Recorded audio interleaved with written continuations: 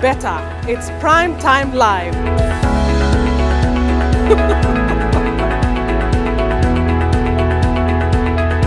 it will be informative, exciting, and interactive. We will turn on the heat when we need to, and we will agree to disagree. But most of all, we'll bring you the facts. We'll do the hard math and ask the hard questions.